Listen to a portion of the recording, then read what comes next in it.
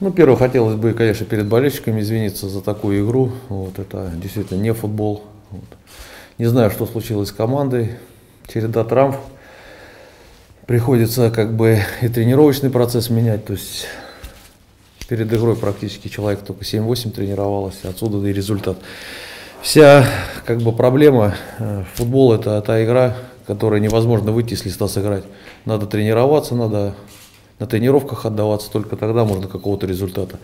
Но когда у тебя там человек 10 в лазарете находится, поэтому тренировочный процесс практически отсутствует. Вот. А как видно, играть они еще как толком не умеют.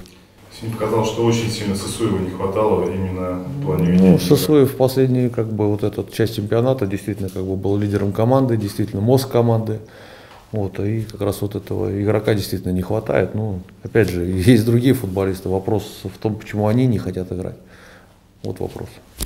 Сегодня, по сути дела, создали один, можно сказать, голевой момент. Э, Как-то готовились. Мне кажется, что даже вообще ни одного не было.